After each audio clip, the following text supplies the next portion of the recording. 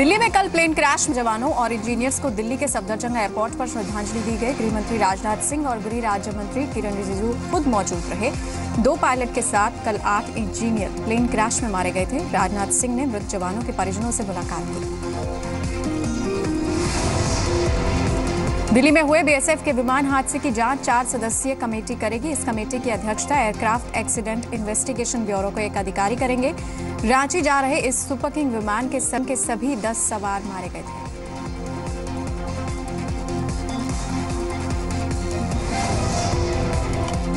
दिल्ली में मंगलवार को बीएसएफ के प्लेन क्रैश मामले में नया खुलासा हुआ है। ऐसी खबरें हैं कि उड़ान के ठीक पहले विमान का पायलट बदला गया। बीएसएफ के किसी अधिकारी के कहने पर एक सीनियर पायलट की जगह दो जूनियर पायलट्स बीपी भट्ट और राजेश शिवरेन की ड्यूटी प्लेन में लगाई गई थी।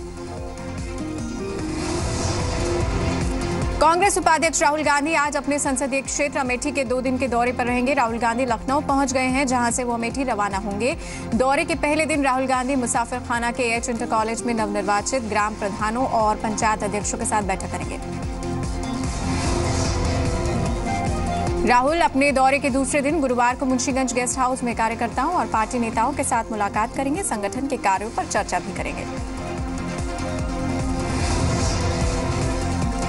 पीएम मोदी आज से दो दिन की रूस यात्रा पर जा रहे हैं। यात्रा में न्यूक्लियर एनर्जी, डिफेंस, हाइड्रोकार्बन और साझा कारोबार को लेकर समझौते हो सकते हैं। मोदी और राष्ट्रपति व्लादिमीर के बीच सीरिया के हालात और आतंकवाद को लेकर भी बातचीत हो सकती है।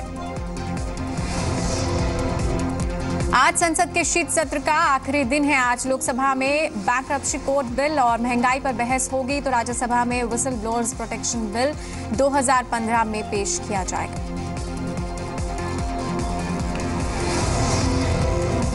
नया जुवेनाइल जस्टिस बिल संसद से पास हो गया है और राष्ट्रपति के दस्तखत के बाद जब ये कानून बन जाएगा तो जघन्य जुर्म के मामले में 16 से 18 साल की उम्र के नाबालिग को व्यस्त माना जाएगा। निर्भया के माता पिता ने जुवेनाइल जस्टिस बिल पास होने का स्वागत किया है। राज्यसभा में बिल पास होते समय निर्भया के माता पिता भी राज्यसभा में ही मौजूद थे। दिल्ली के सीएम अरविंद केजरीवाल ने पीएम मोदी पर जेटली को बचाने के लिए सीबीआई रेड कराने का आरोप लगाया और पीएम का इस्तीफा मांगा। पीएम मोदी के खिलाफ अपमानजनक भाषा का इस्तेमाल करने को लेकर दिल्ली के मुख्यमंत्री अरविंद केजरीवाल के खिलाफ दिल्ली के कोर्ट में मामला दायर किया गया है। प्रदीप कुमार नाम के एक वकील ने तीस हजारी कोर्ट में दायर याचिका में देशद्रोह और मानहानि के तहत केजरीवाल पर केस चलाने की मांग की है। इस मामले पर पहली सुनवाई 4 जनवरी 2016 को होगी। आम आदमी पार्टी आज कथित डीडीसीए घोटाले में शामिल केंद्रीय वित्त मंत्री अरुण जेटली के घर के बाहर प्रदर्शन करेगी। पीएम मोदी ने भी खुलकर जेटली का बचाव किया है। उन्हें बीजेपी सांसदों के बीच कहा कि जेटली वैसे ही बेदाग साबित होंगे, जैसे हवाला केस में अल के अडवाणी बरी हुए थे। डीडीसीए घोटाले की जाँच के लिए दिल्ली विधानसभा ने एक सदस्यीय जाँच आयोग को मंजूरी दे दी है। मंगलवार को दिल्ली विधानसभा का एक दिन का विशेष सत्र इसी के लिए बुलाया गया था। ये एक सदस्यीय आयोग डीडीसीए में हुए। कथित आर्थिक घोटाले की जाँच करेगा। Delhi and district cricket association BJP सांसद कीर्ति आज़ाद के खिलाफ कानूनी कार्रवाई कर सकता है। डीडीसीए के ट्रेजरर रविंदर मनचंदा के मुताबिक कीर्ति आज़ाद ने गलत आरोप लगाए हैं और उनके खिलाफ मानहानि का मुकदमा दायर किया जा सकता है। मनचंदा ने कहा कि डीडीसीए पहले ही अपने सभी डॉक्यूमेंट्स और खर्चों की डिटेल दे चुका है। कीर्ति आज़ाद ने 20 दिसंबर को प्रेस कॉन्फ्रेंस करके डीडीसीए में कथित घोटाले का आरोप लगाया था। बीजेपी सांसद कीर्ति आज़ाद पर वित्त मंत्री अरुण जेटली के खिलाफ कथित डीडीसीए घोटाले मामले में बयानबाजी के लिए बीजेपी कार्रवाई कर सकती है।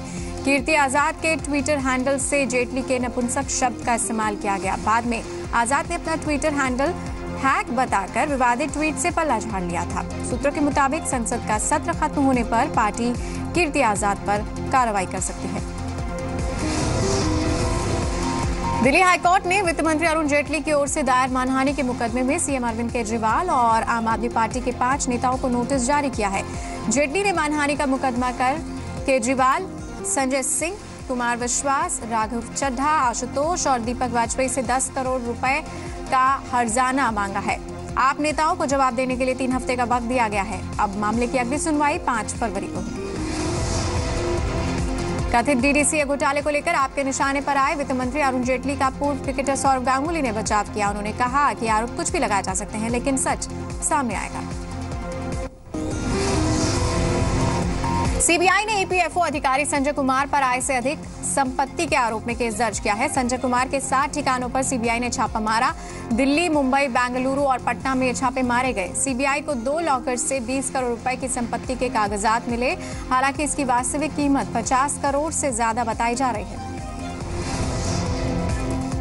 इसके साथ ही संजय के सीए जय गुप्ता के ठिकानों पर भी छापे में सीबीआई को कई अहम कागजात मिले हैं। सूत्रों के मुताबिक आने वाले वक्त में कई दूसरे आईआरएस अफसर भी सीबीआई के दायरे में हैं। कल घोटाला मामले में दिल्ली की पटियाला हाउस कोर्ट ने कैबिनेट मंत्री प्रकाश जावड़ेकर और हंसराज अहिर को नोटिस जारी किया है। प्रकाश इंडस्ट्री मामले में कोर्ट ने ये नोटिस जारी कर इन्हें 8 अप्रैल को पेश होने का आदेश दिया। कोर्ट ने पिछली सुनवाई के दौरान सीवीसी संजय अग्रवाल को नोटिस जारी कर पेश होने का निर्देश दिया था। कोर्ट के आदेश पर कोर्ट में पेश हुए अग्रवाल से पूछा था कि किसकी शिकायत पर सीबीआई ने एफआईआर दर्ज की थी।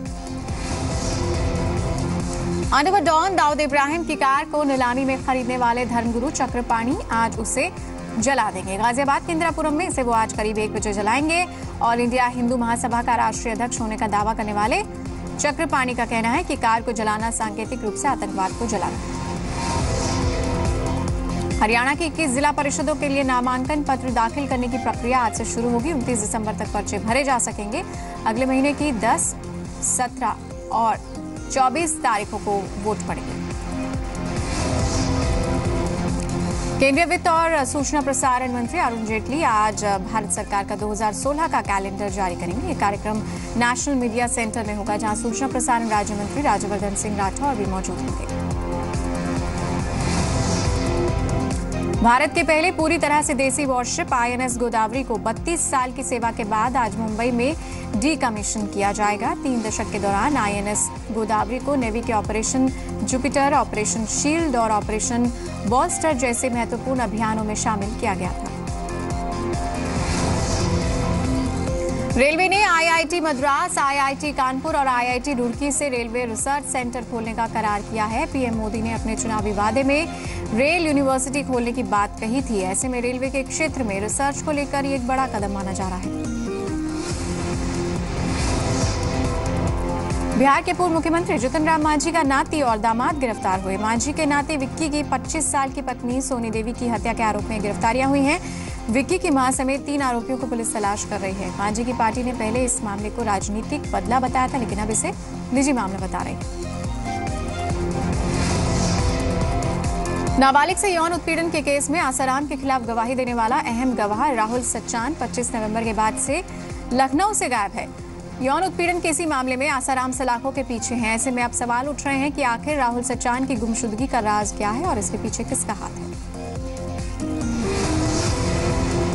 यूपी में नए लोकायुक्त की नियुक्ति को लेकर विवाद बढ़ता जा रहा है। यूपी में लोकायुक्त की नियुक्ति को लेकर सुप्रीम कोर्ट में नई याचिका दायर की गई है। इस याचिका में सुप्रीम कोर्ट से मांग की गई है कि कोर्ट में जिन लोगों ने गलत एफिडेविट देकर कोर्ट को गुमराह किया, उन पर कोर्ट की अवमानना का केस दर्ज किया जाएगा। याचिका में मांग की गई है कि जस्टिस वीरेंद्र सिंह के बदले सभी पक्षों की सहमति से नए लोकायुक्त का चयन किया जाएगा। इससे पहले यूपी में नए लोकायुक्त की नियुक्ति पर सुप्रीम कोर्ट रोक लगा चुका है। नियुक्ति को लेकर मामले पर अगली सुनवाई 4 जनवरी को होगी। लोकायुक्त के पद पर जस्टिस वीरेंद्र सिंह को 19 दिसंबर को शपथ लेनी थी। उत्तराखंड में लोकायुक्त की नियुक्ति नहीं होने पर विपक्ष की बीजेपी सरकार ने एक बार फिर हरीश रावत सरकार पर हमला बोला। बीजेपी का आरोप है, सरकार की मंशा भ्रष्टाचार करने की है, इसलिए लोकायुक्त नहीं ला रही। अगर राज्य में लोकायुक्त लागू हो जाए तो कांग्रेस ही सबसे ज़्यादा जेल में नज़र आएगी। आगरा पुलिस ने बड़ी कामयाबी हासिल करते हुए हरिंद्र राणा गैंग के शार्प शूटर राहुल फौजी को गिरफ़्तार कर लिया। राहुल फौजी के पास से एक एसयूवी गाड़ी, तमंचा और काफ़ी मात्रा में चरस बरामद हुई।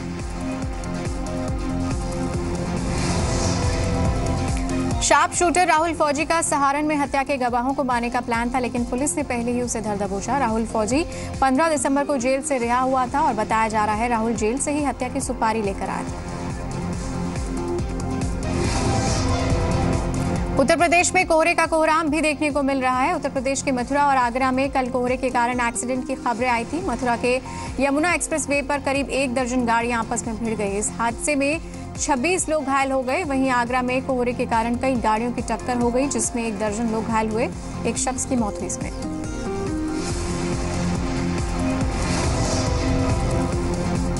दिल्ली एनसीआर में आज सुबह कोहरा देखने को मिला। सड़क पर जो गाड़ियाँ कभी दौड़ती थी, वो रेंगने को मजबूर थी। दिल्ली में न्यूनतम तापमान 6 डिग्री सेल्सियस दर्ज किया गया। मौसम विभाग के मुताबिक आने वाले दिनों में कोहरा और बढ़ेगा।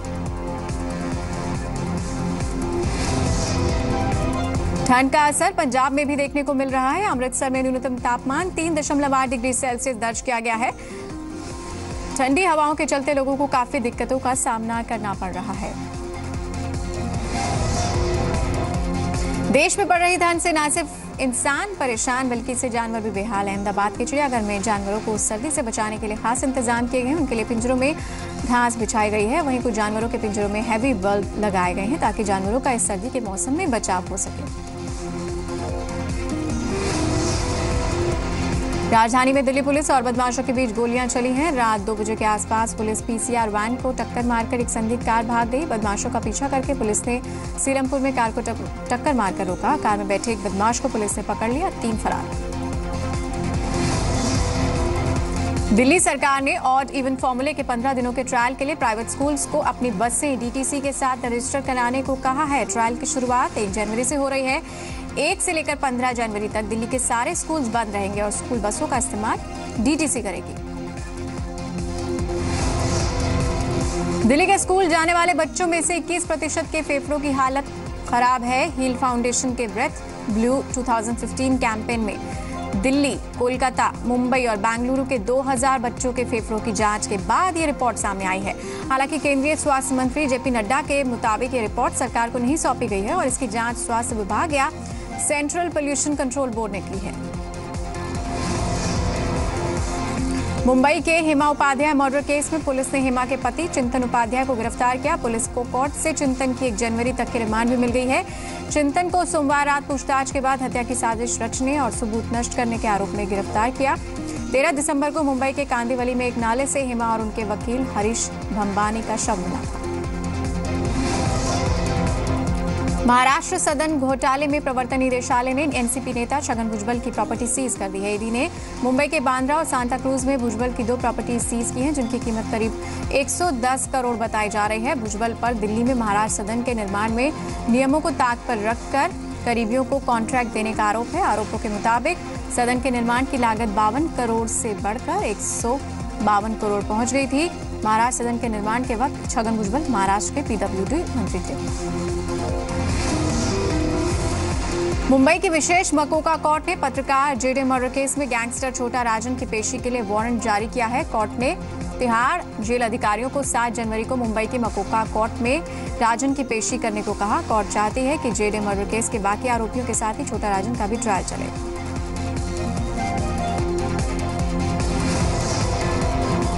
मुंबई के मालवणी से 16 दिसंबर को गायब हुए वाजिद शेख नाम के शख्स को महाराष्ट्र एटीएस ने पुणे में ढूंढ लिया। मालवणी पुलिस ने पूछताछ के बाद वाजिद को छोड़ दिया है, लेकिन सुरक्षा एजेंसियाँ अभी भी जाँच कर रही हैं। पुलिस ने यह नहीं बताया कि वाजिद आईएसआईएस में शामिल होने गया था या नहीं। वहीं परिवार वालों ने इससे इनकार किया।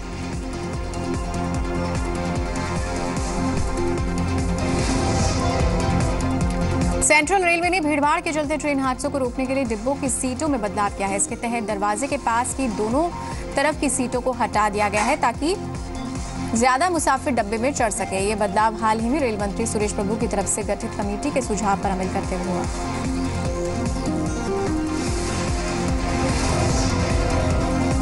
महाराष्ट्र के बुल्ढाना में एक किसान ने बैंक से कर्ज न मिलने पर नाराज़ होकर शोले स्टाइल में आंदोलन किया। महकर गाँव के रहने वाले पवन गामने ने दो साल पहले सेंट्रल बैंक से कर्ज मांगा था। पहले तो मंजूर हो गया था, लेकिन बाद में बैंक मैनेजर ने पवन के खिलाफ आपराधिक मामला होने की बात कहकर लोन खारिज किया। अब नाराज़ होकर पवन तहसील कार्यालय के पास के एक टावर पर चढ़ गया। कर्ज मंजूर होने तक नीचे नहीं उतरने की धमकी दी।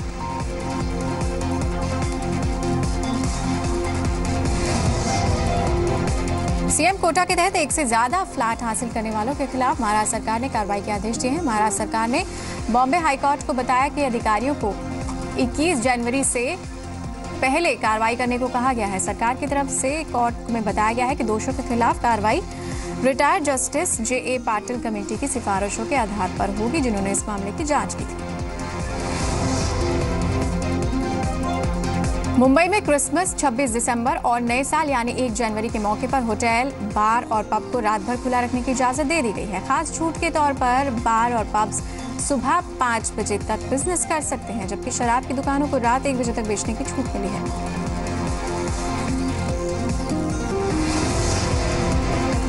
मुंबई से सटे थाने के वर्तक नगर सोसाइटी में अजगर आने से हंगामा मच गया। खबर मिलते ही पुलिस की टीम वन विभाग के अधिकारियों के साथ मौके पर पहुँची और अजगर को पकड़ा गया।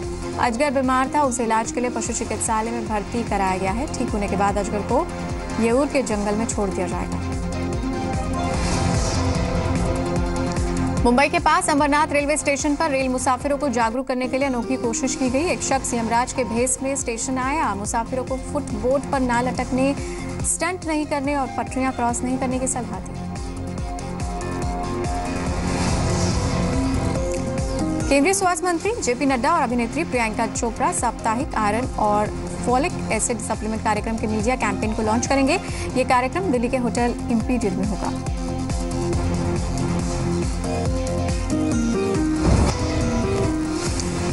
ई कॉमर्स कंपनियों के एफडीआई नियमों के उल्लंघन की जाँच कर रही इन्फॉर्मेंस डायरेक्टरेट ने छह कंपनियों के खिलाफ जाँच पूरी कर ली है। जानकारी के मुताबिक ईडी की जाँच में ई कॉमर्स कंपनियों में एफडीआई निवेश से जुड़ी गड़बड़ियाँ सामने आई जाँच में मार्केट प्लेस के ज़रिए डिस्काउंट देने में गड़बड़ियों का खुलासा हुआ है। ई रिटेलर्स के बिज़नेस मॉडल और फंडिंग पर सरकार ने भी हाईकोर्ट को रिपोर्ट सौंपी है। फुटवेयर एसोसिएशन की याचिका पर दिल्ली हाईकोर्ट ने ईडी को जाँच के आदेश दिए थे। मार्केट रेगुलेटर सेबी के अधिकारियों से पूछताछ करने के सीबीआई के अधिकार को लेकर सेबी ने वरिष्ठ वकीलों से राय मांगी है। इस बारे में 14 दिसंबर 2015 को सेबी एम्प्लॉयज़ एसोसिएशन की तरफ़ से सेबी चेयरमैन को एक चिट्ठी लिखी गई। पिछले दो सालों के दौरान अलग अलग मामलों में सेबी के 70 अधिकारियों को कभी सीबीआई और कभी आर्थिक अपराध शाखा की ओर से समन भेजकर उनसे पूछताछ की गई है। एक्सचेंज की लिस्टिंग को लेकर सीबीएसएबी ने नए नियमों को मंजूरी दे दी है। सूत्रों के हवाले से खबर है कि ऐसी कंपनियों के शेयर लिस्टेड एक्सचेंज में ट्रेडिंग नहीं कर पाएँगे, जिससे उनकी हिस्सेदारी 15 से ज़्यादा होगी। इस नियम से सबसे ज़्यादा झटका एमसीएक्स में कोटक महिंद्रा के निवेश को लगेगा, क्योंकि कोटक की एमसीएक्स में 15 परसेंट हिस्सेदारी है। इसलिए एमसीएक्स एसएक्स में कोटक का शेयर ट्रेड नहीं हो सकेगा। एक जनवरी से कॉल ड्रॉप पर कस्टमर्स को मिलने वाला हर्जाना अब नहीं मिलेगा। दिल्ली हाईकोर्ट ने ट्राई के इस फैसले पर रोक लगा दी है। कोर्ट ने ट्राई से कहा कि वो एक जनवरी से कॉल ड्रॉप पर किसी तरह का जुर्माना ना वसूले। हाईकोर्ट ने मोबाइल कंपनीज़ को ये राहत 6 जनवरी तक दी है। हाईकोर्ट के फैसले को मोबाइल कंपनियों के लिए राहत और ट्राई के लिए झटके के तौर पर देखा जा रहा है। रिलायंस जियो 27 दिसंबर से 4G सर्विस का सॉफ्ट लॉन्च करने जा रही है। कंपनी सबसे पहले अपने कर्मचारियों से 4G सेवाओं की शुरुआत करेगी। इसके लिए रिलायंस जियो ने अपने हर कर्मचारी को चार सिम कार्ड दिए हैं, जिससे कि कर्मचारियों के परिवार वाले भी सर्विस का इस्तेमाल करें।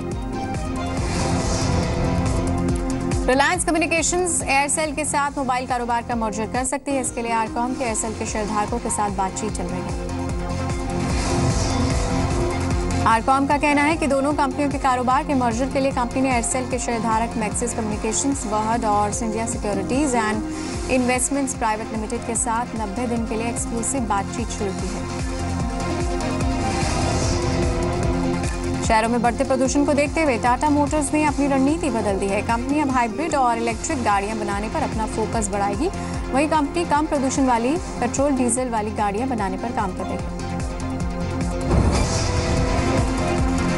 अमेरिका में राष्ट्रपति पद के रिपब्लिकन दावेदार डोनाल्ड ट्रंप ने इस बार सारी मर्यादाएँ तोड़ दी हैं। उन्होंने डेमोक्रेट पार्टी से दावेदार हिलेरी क्लिंटन के लिए अब शब्दों का इस्तेमाल किया।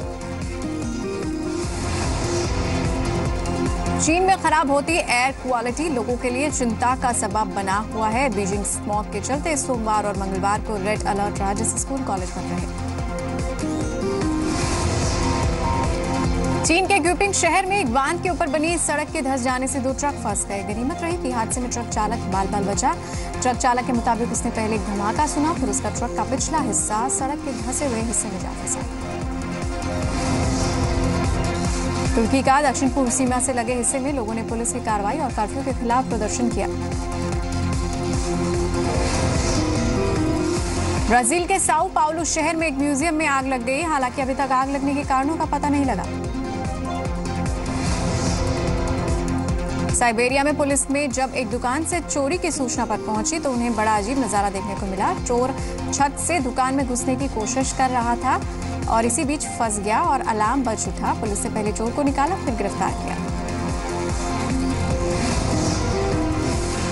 फिलीपींस डेंगू की वैक्सीन की बिक्री को मंजूरी देने वाला पहला एशियाई देश बन गया है। डब्ल्यूएचओ की रिपोर्ट के मुताबिक हर साल 40 करोड़ लोग डेंगू से पीड़ित होते हैं। इसमें से दो तिहाई मरीजों की तादाद एशिया से होती है। पेरू के अजाकुचो में हुए भूस्खलन में दो लोगों की मौत हो गई। भूस्खलन से हाईवे पर खड़े ट्रक पर मलबा आ गिरा, जिसमें दो लोगों की मौत हो गई। अमेरिका के पश्चिमी तट पर भयंकर तूफ़ान से आम जनजीवन अस्त व्यस्त हो गया। लोगों को बर्फबारी, बारिश और तेज हवाओं से जूझना पड़ रहा है।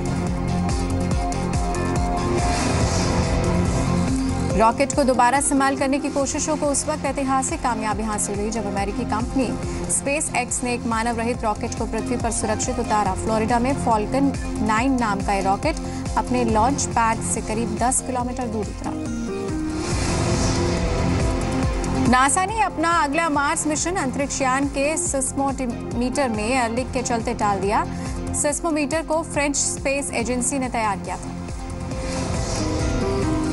इंटरनेशनल स्पेस स्टेशन से astronauts Tim Kopra Scott Kelly और टिम पेकी ने सभी को क्रिसमस और नए साल की शुभकामनाएँ दी हैं। हॉलीवुड के मशहूर एक्टर निकोलस केज डायनासोर के स्कल को अमेरिकी सरकार को वापस करेंगे ताकि उसे मंगोलिया को वापस किया जा सके। डायरेक्टर प्रकाश झा की फ़िल्म जय गंगा जल का ट्रेलर रिलीज़ इस फ़िल्म में प्रियंका पहली बार पुलिस ऑफिसर के रूप में। संजय लीला भंसाली की फ़िल्म बाजीराव मस्तानी ने 100 करोड़ का आंकड़ा पार कर लिया। फ़िल्म ने सोमवार को 10 करोड़ से ज़्यादा कमाए। बॉलीवुड एक्टर सलमान खान अपने भाई सोहेल खान के छियालीसवें जन्मदिन के मौके पर ऑटो में बैठकर घर जाते हुए देखे गए। रणवीर सिंह का कहना है कि उन्हें अपनी गर्लफ्रेंड दीपिका पादुकोण पर पूरा भरोसा है कि दीपिका कभी उन्हें धोखा नहीं देगी। एकता कपूर की अपकमिंग फ़िल्म क्या कूल है? हम पार्ट थ्री पर हो सकती है कानूनी कार्रवाई। बॉलीवुड के मशहूर निर्माता निर्देशक सूरज बारजातिया, जो कि पारिवारिक फ़िल्में बनाने के लिए जाने जाते हैं, जल्द इस फ़िल्म पर लीगल एक्शन ले सकते हैं। बॉलीवुड की रज्जू ने अपने करियर में एक नई पारी की शुरुआत की है। सोनाक्षी सिन्हा के debut single Aaj mood Ishqholic Hai का ट्रेलर रिलीज़ हो चुका है। बॉलीवुड एक्टर शाहिद और उनकी पत्नी मीरा की शादी भले अरेंज हो, लेकिन इतने कम समय में ही अभी से इन दोनों को की आदतें एक दूसरे से मैच होने लगी हैं। शाहिद कपूर को तो सेल्फी लेने का शौक है, लेकिन सबसे खास बात यह है कि मीरा भी अब पति शाहिद की इस आदत को फॉलो करने लगी हैं। मीरा की इसी आदत का ज़िक्र शाहिद कपूर ने एक इवेंट के दौरान किया।